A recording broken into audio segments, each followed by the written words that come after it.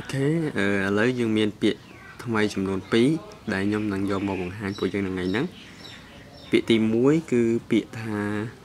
សាំងប៉ានសាំងប៉ានសាំងប៉ានហ្នឹងគឺនៃផនវាគឺធ្វើការណាអញ្ចឹងកុំឲ្យខាតពួកយើងអាចខ្ញុំឲ្យជាឃ្លាឧទាហរណ៍មួយនីជីទៀនសាំងប៉ាននីជីទៀនសាំងប៉ានពួកយើងប្រែថាតើអ្នកធ្វើការនៅម៉ោងប្រហែលនីជីរៀនសាំងប៉ានអ្នកធ្វើការនៅម៉ោងប្រហែលនីជីរៀនសាំងប៉ានអញ្ចឹងពួកយើងអាចឆ្លើយ 我七点上班我七点上班ខ្ញុំធ្វើការនៅម៉ោង7我七点上班我七点半上班我八点上班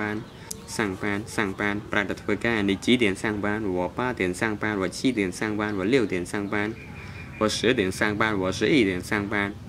十二点上班អញ្ចឹង上班ពួកយើងប្រែទៅធ្វើការអូខេពាក្យទី2គឺពាក្យថាសាក់ប៉ានសាក់ប៉ានពួកយើងប្រែថាសាក់ប៉ានប្រែថាចេញពីធ្វើការណា អូខេខ្ញុំមកឃ្លាឧទាហរណ៍យើងយកតែឃ្លាដដែលហ្នឹងបានគ្រាន់តែដូរពាក្យខាងក្រោយមកនីជីទៀនសាបាននីជីទៀនសាបាននីជីទៀនសាបានអ្នកចេញពីធ្វើការនៅម៉ោងប្រហែលនីជីទៀនសាបានអ្នកចេញធ្វើការនៅម៉ោងប្រហែលយើងឆ្លើយវ៉ាសឺទៀនប៉ានសាបានវ៉ាសឺទៀនប៉ានសាបានខ្ញុំចេញខ្ញុំចេញពីធ្វើការនៅម៉ោង4កន្លះសឺទៀនប៉ាន4កន្លះនីនីជីទៀនសាបាន 你几点下班？我四点半下班。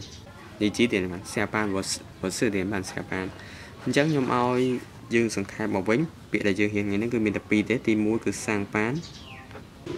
សាប៉ានណាអញ្ចឹងមានតែពីរហ្នឹងទេសាំងប៉ានគឺចូលធ្វើការសាប៉ាននឹងចេញពីធ្វើការតែប៉ុណ្្នឹងទេហើយយើងតមេរៀនក្រោយទៀតណាអូខេ